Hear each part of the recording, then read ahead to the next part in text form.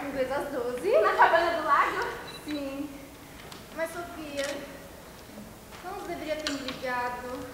Eu direi a ele. Ele está mais tranquilo. Você não devia ter ditado com ele. Mas vai ficar tudo bem.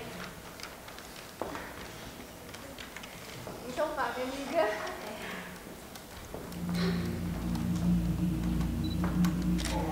Sophie. Sophie, isso são horas. Onde você está? Desculpe o atraso, Willy. Tudo bem. O quê? Isso é tudo? É que o, o resto ainda não chegou. Leia aqui, por favor. O povo alemão está chocado pelos soldados enviados ao abismo e à morte em Stalingrado. 330 mil jovens lançados à morte e ao extermínio, fruto das decisões dos nossos irresponsáveis estrategistas. É, Sophie, você não quer ajudar o Willy? Eu tenho certeza que ele vai adorar. Aqui estão as cartas. Muito obrigado, senhor. Hans, esta é a carta e aqui está a direção. Obrigado. Bom, e o que nós vamos fazer com o resto? Eu vou separá-los e jogá-los na faculdade amanhã. O quê? Você ficou louco? Você não se lembra da manifestação de mulheres estudantes no outro dia?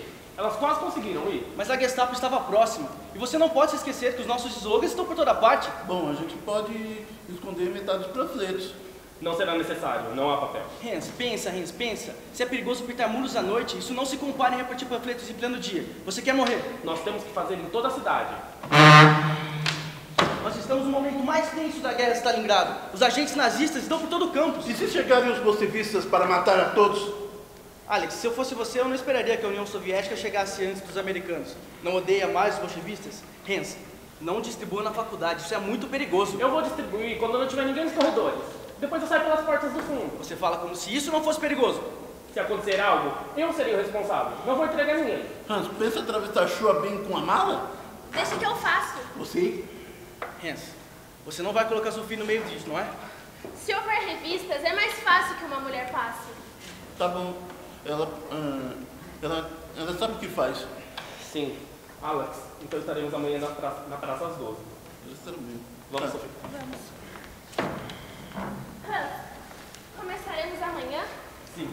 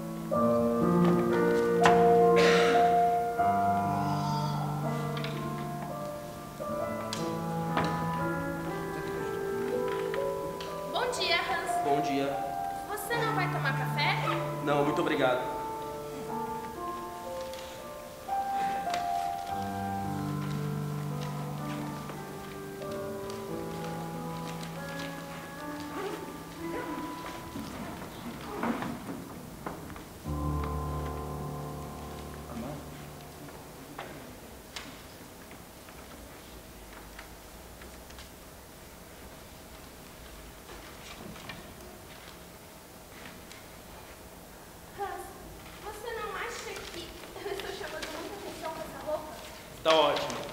Hoje nós vamos levar um pouco de, de esperança para os alunos daquela faculdade. Então vamos? Vamos.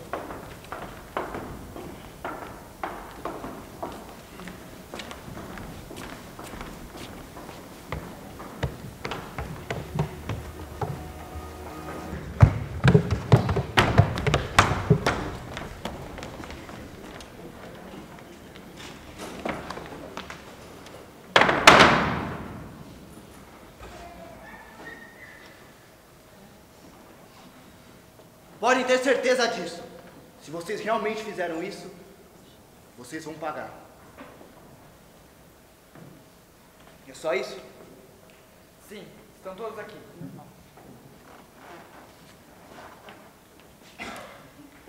Mas o que escondo?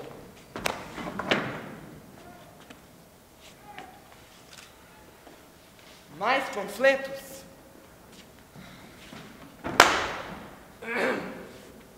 Senhor.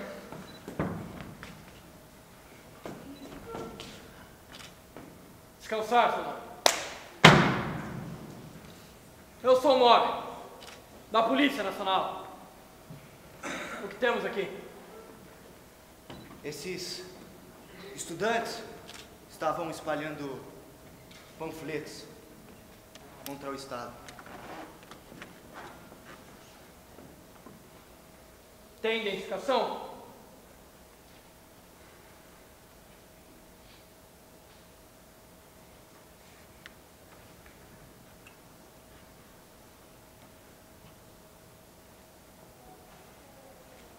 Zolf Madalena Choi. Sim.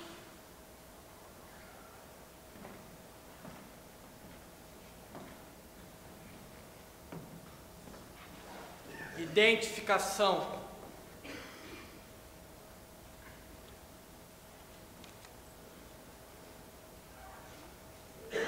Hans Fritz Choi. Sim. Irmãos, Sim.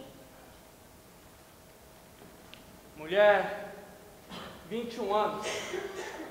Vocês querem mesmo enfrentar o Reich que conquistou a Europa? Um, um amigo obrigou-me. Eu não queria saber de problemas.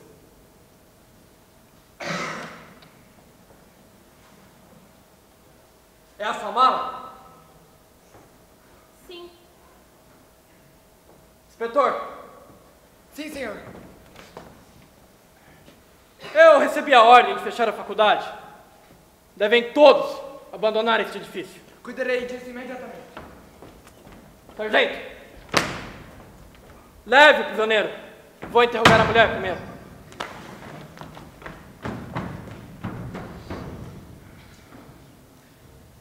Sente-se.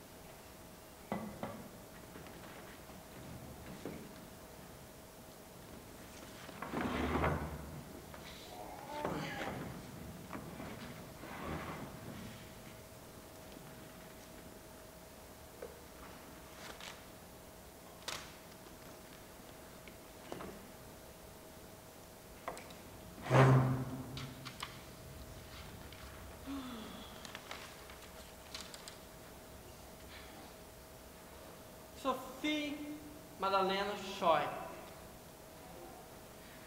Nascida 9 de maio de 1922 em Fortenberg, cristã. E o seu pai? Robert Choi, Major de Fortenberg.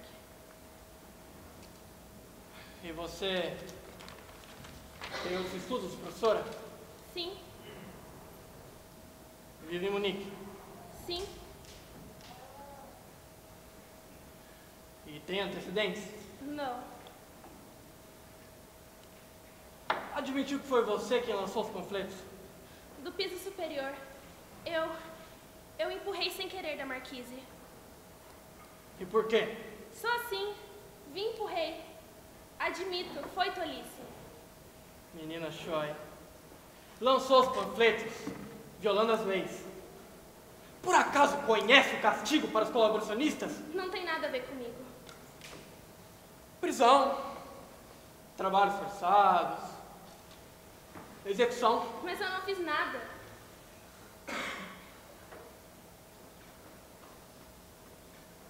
E essa é. a sua mala, não é? É. Por que você veio às aulas com uma mera mala vazia? Pensava ir a um. Deixei algumas roupas em casa para minha mãe lavar.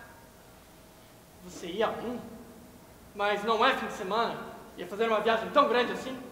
Sim, Para trazer roupa. sim, também queria visitar uma amiga. Ela acaba de ter um filho e a minha mãe está muito doente. Mas por que você não esperou até o fim de semana? Por que tá com tanta pressa? A minha amiga queria estar de volta antes do fim de semana. Ela queria ir a Hamburgo. Íamos apanhar o comboio das 12h48. Ela tinha ficado com o noivo de minha irmã em Hetz. Podem perguntar. Como se chama? Otto Aicha. Saiu do Sul e chegou a Munique às 11h30. Você não levava roupa única para lavar? Não, as roupas pequenas lavo à mão. E não tinha nenhuma grande.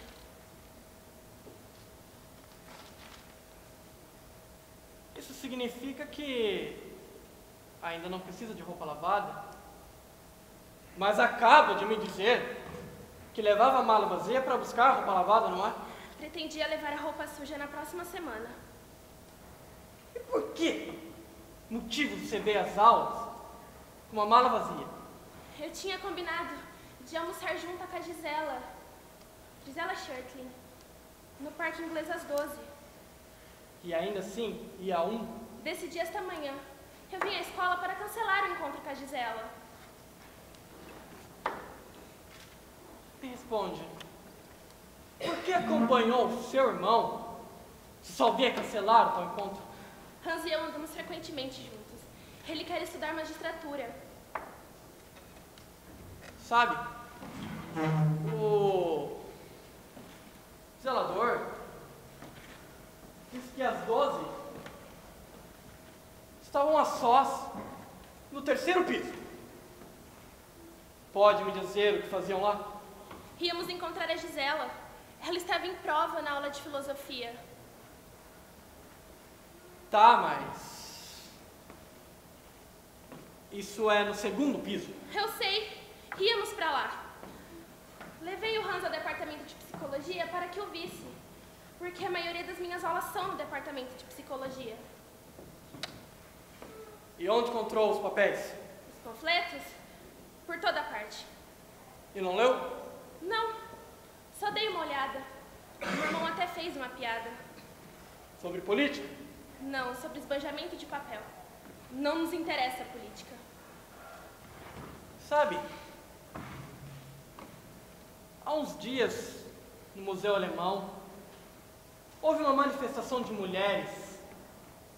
Por acaso, não esteve por lá, não é? Não. Todo mundo esteve lá. Não me interessa a política.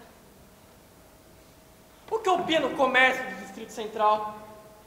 Dizem que as raparigas devem pensar em gerar líderes em vez de ir à faculdade. E que até a mais feia pode se casar com seu ajudante. É questão de gosto. Olha, o que você fez na faculdade te converte em suspeito.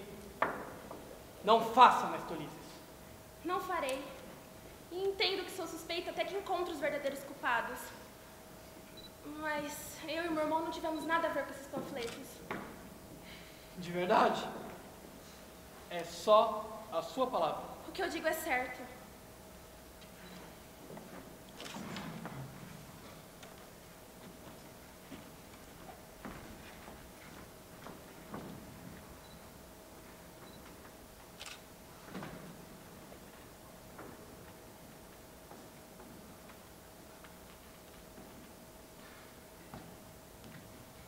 Menina Choi, o meu companheiro acaba de dizer que não tem nada de estranho no seu depoimento.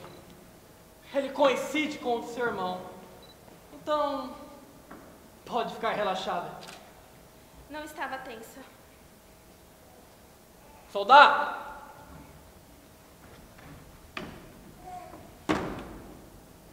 Leve.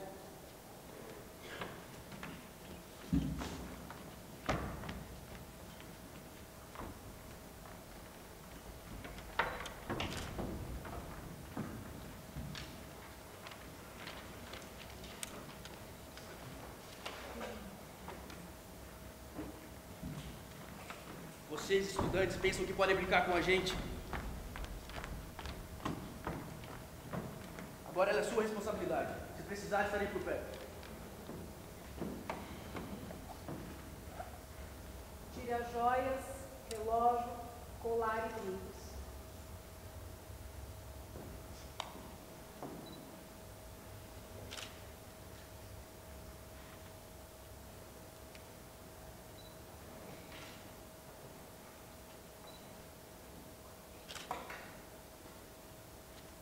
tira sua roupa.